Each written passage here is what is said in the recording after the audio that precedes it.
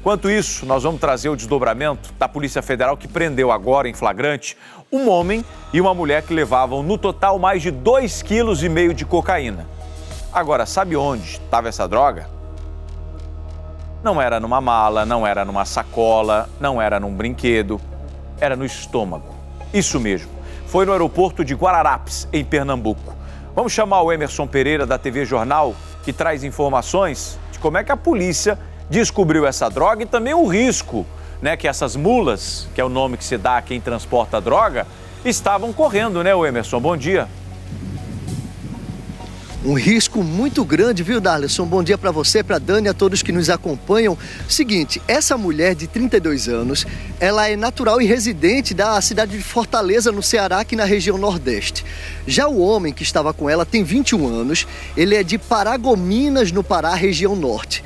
Os dois pegaram um voo com destino a Lisboa, Portugal. Quando chegaram na Europa, foram barrados na imigração. Aí tiveram que retornar a Pernambuco. Os policiais federais daqui já estavam desconfiados para saber o motivo pelo qual eles foram barrados lá. E aí ficaram aguardando. Quando eles desembarcaram no Recife, foram recepcionados por quem? Por agentes da Polícia Federal que levaram o homem e a mulher para uma sala, começaram o interrogatório e aí, meu amigo, os dois entraram em muita contradição. Disseram, por exemplo, que eram casados e que tinham ido à Europa curtir lua de mel. Mas você sabe que os policiais são treinados para descobrir quando a pessoa está mentindo.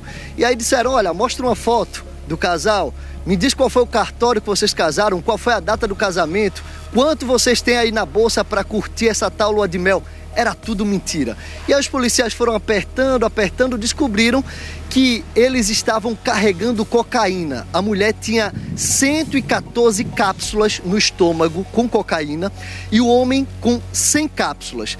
Eles foram levados ao hospital, retiraram todo esse material, deram sorte, viu?